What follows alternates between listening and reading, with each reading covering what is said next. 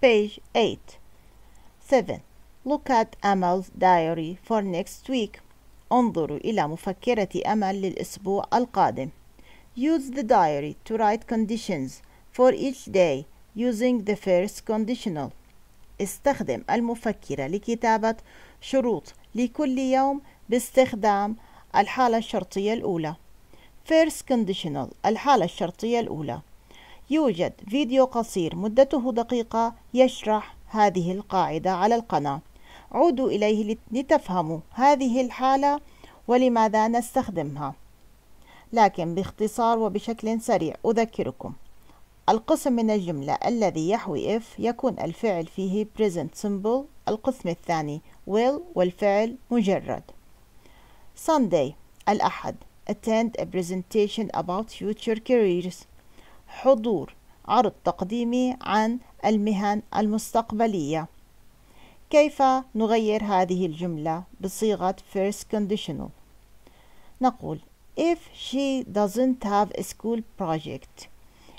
إذا لم يكن لديها مشروع مدرسي she will attend a presentation about future careers. سوف تحضر عرض تقديمي عن المهن المستقبلية.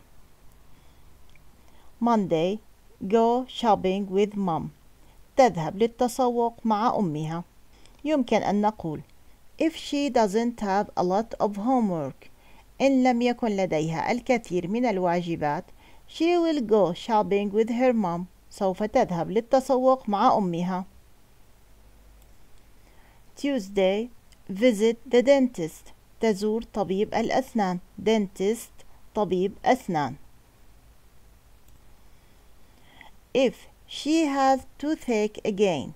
إذا كان لديها ألم في الأسنان مرة ثانية she will visit the dentist. سوف تزور طبيب الأسنان. Tooth سن ache ألم. ألم أسنان. Wednesday tidy my bedroom. أرتب غرفة نومي. يمكن أن نقول If her bedroom is very messy إذا كانت غرفة نومها فوضوية جدا she will tidy it سوف ترتبها Thursday collect food warm clothes and toys for the needy جمع الطعام الملابس الدافئة والألعاب للناس المحتاجين needy المحتاجون if she has some free time إذا كان لديها بعض وقت الفراغ she will collect food warm clothes and toys for the needy ستجمع الطعام الملابس الدافئة والألعاب للمحتاجين Friday الجمعة go camping with my family الذهاب للتخييم مع عائلتي if the weather's sunny إذا كان الطقس هنا لدينا weather is. إذا كان الطقس مشمسا she will go camping with her family. سوف تذهب للتخييم مع عائلتها.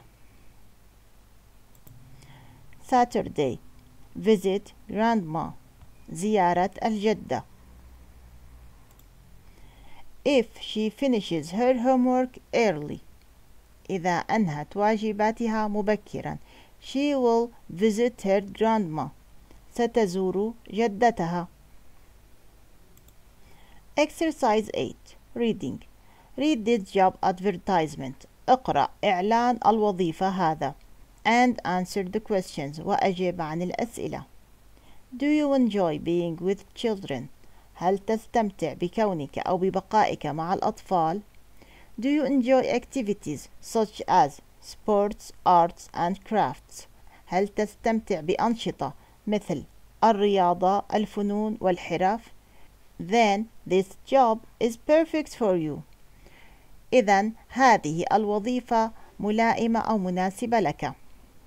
We are an early learning center in Irbid. نحن مركز تعلم مبكر في إربد. Looking for individuals who are interested in teaching young children. نبحث عن أفراد individuals أفراد who are interested المهتمين بتعليم young children أطفال صغار in a supportive and caring environment ضمن environment بيئة مهتمة وداعمة We would like teachers to work with children of all ages on the activity programs. نحن نرغب بالمعلمين أن يعملوا مع الأطفال من جميع الأعمار على برامج الأنشطة. Please apply only if you have previous experience in working with children. رجاء تقدم apply تقدم للوظيفة فقط إذا كنت تملك خبرة سابقة في العمل مع الأطفال. We need you to be friendly. نحتاج أن تكون ودودا enthusiastic متحمسا and energetic ولديك طاقة and to have the ability to teach activities to young children ولديك القدرة لتعليم الأنشطة للأطفال الصغار We provide training and a uniform نحن نؤمن لك التدريب والزي الموحد Send us an email today for an interview. أرسل لنا بريدا إلكترونيا اليوم من أجل المقابلة. كانت لدينا الكلمات crafts حرف early learning تعلم مبكر individuals أفراد supportive داعم enthusiastic متحمس energetic لديه طاقة مفعم بالطاقة provide يؤمن أو يوفر الأسئلة المتعلقة بهذا الإعلان هي 1. What are the five skills and qualifications required to apply for this job? ما هي المهارات الخمسة والqualifications المؤهلات المطلوبة required مطلوبة أو لازمة ل apply التقدم لهذه الوظيفة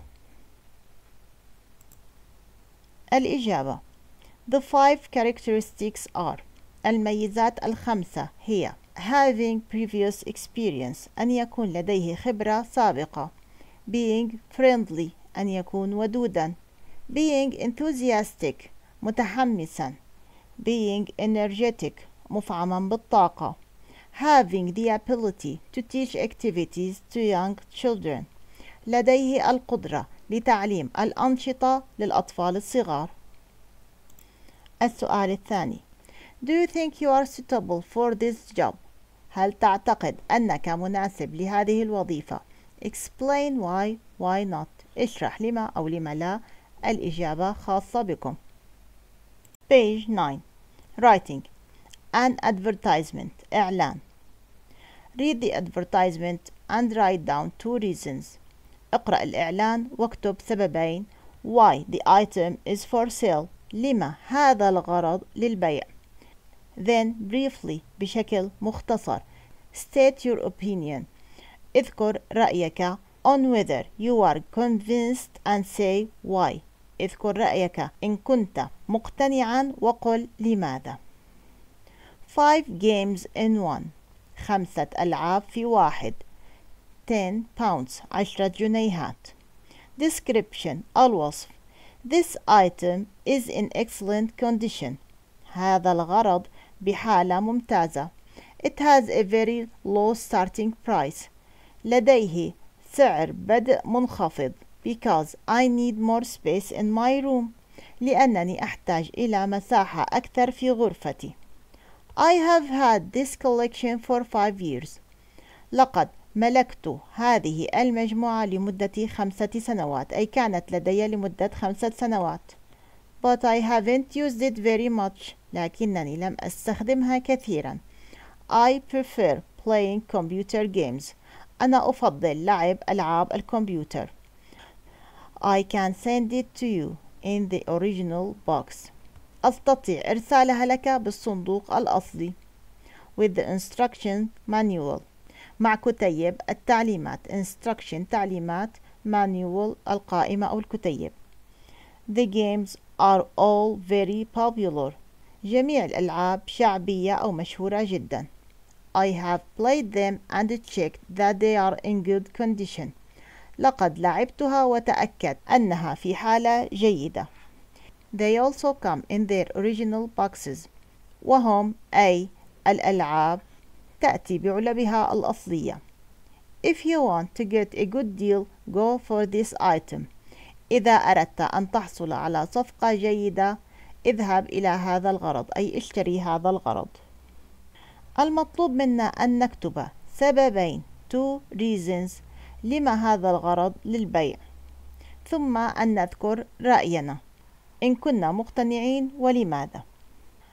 السبب الأول reason 1 The seller needs more space in his room البائع يحتاج لمساحة أكثر في غرفته reason 2 He hasn't used the item very much لم يستخدم هذا الغرض كثيرا أما الأوبينيون الرأي فهو رأي شخصي عائد لكم Exercise 10 Which one of the items in the photographs do you think is in a good enough condition to buy? أي من هذه الأغراض في الصور تعتقد أنها في حالة جيدة كفاية لتشتريها. Write a short paragraph describing the object. اكتب فقرة قصيرة تصف فيها هذا الغرض and explaining why you would choose to buy it وتوضح فيه لما قد تختار شراءه لدينا هذه الأغراض الدراجة جهاز الكمبيوتر وساعة المنبه Exercise 11 Choose something that you own اختر شيئا تملكه and no longer want to keep ولم تعد تريد الاحتفاظ به بعد الآن. Write an advertisement for it for an auction website. اكتب إعلانا له من أجل موقع إلكتروني للمزادات auction مزاد الإجابتان في السؤال العاشر والحادي عشر متروكتان لكم.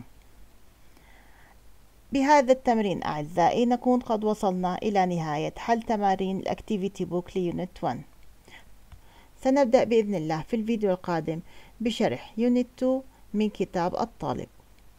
السلام عليكم.